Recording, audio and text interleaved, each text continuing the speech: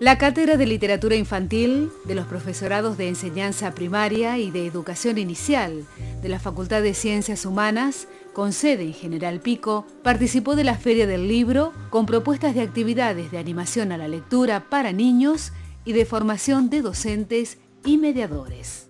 Que bueno, tomé ese desafío de proponerles el taller El viento que arrasa, algo que nos, este, que nos identifica en la pampa, un viento Solo que ella utiliza una metáfora, que es esas situaciones de la vida en la que parece que todo tambalea como si un viento lo arrasara.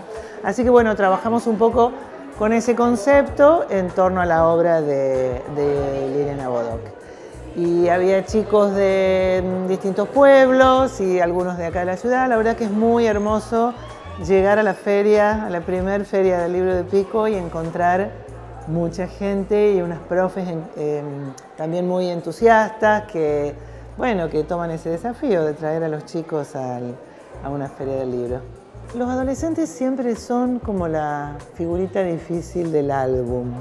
Yo hace muchos años que me dedico a conquistar lectores. Técnicamente se llama promover la lectura.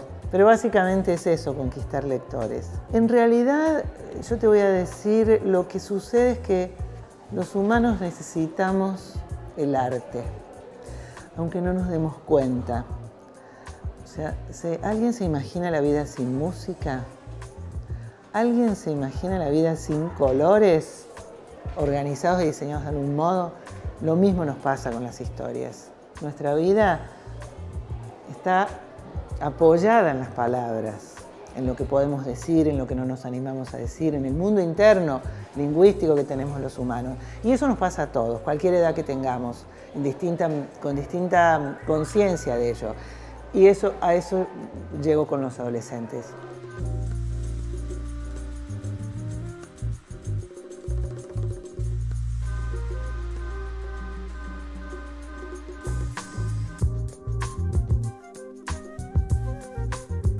Desde la UNPAM hemos ofrecido algunos talleres, los míos particularmente, uno es en la soguita de un verso, que es el de hoy, justamente, donde está invitado el lobo Rodolfo, eh, y todas sus historias y sus mandarinas y sus quinotos, que es lo que más le gusta comer. Nada, pensé en ese nombre en la soguita de un verso porque me parece que en un verso, como es eh, Juguemos en el bosque mientras el lobo no está, Em, pasan muchas cosas. un verso invita a crear otros mundos posibles, otros, otros mundos imaginarios, ¿eh?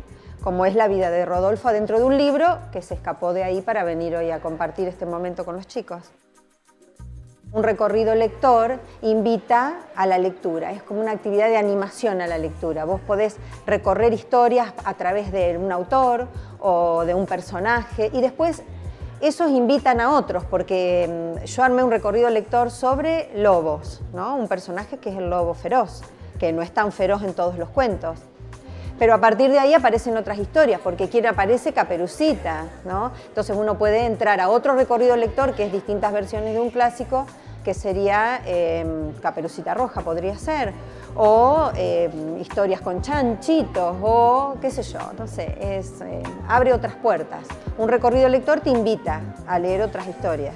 Y cuando la lectura invita, pasa que hay que provocar eso, ¿no? Eh, el convite, el decir, a ver, eh, ¿qué, qué está pasando dentro de este libro? Es una actividad fuerte de animación a la lectura, de darle vida a esa propuesta de lectura. Pero leemos distinto, o sea, los chicos incluso, eh, ahora la, lectura de imagen, hay libros que no traen texto, eh, que es eh, lo que conocemos como un libro álbum, el, álbum de cualquier manera también, algunos traen texto y traen imagen, pero otros son pura imagen y uno puede hacer múltiples lecturas.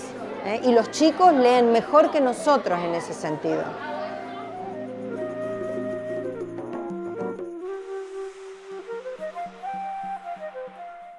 Taller mío se va a llamar La hormiga que canta, que es un libro eh, de la obra de Betach y que está ilustrado por Juan Lima, que es una joya.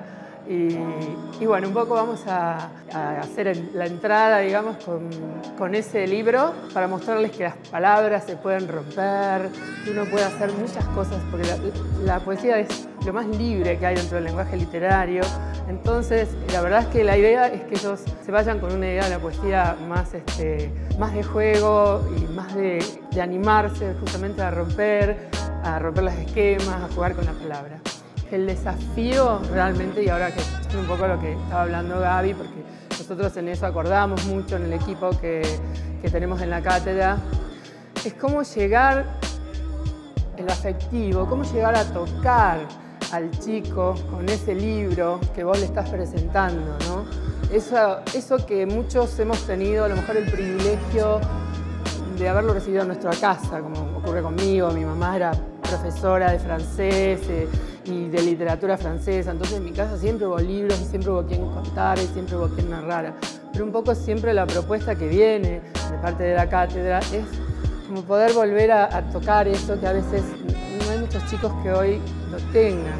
Alguien que en la casa les lea y que esa lectura te llegue además con una cuota de afectividad. Eso nos parece fundamental.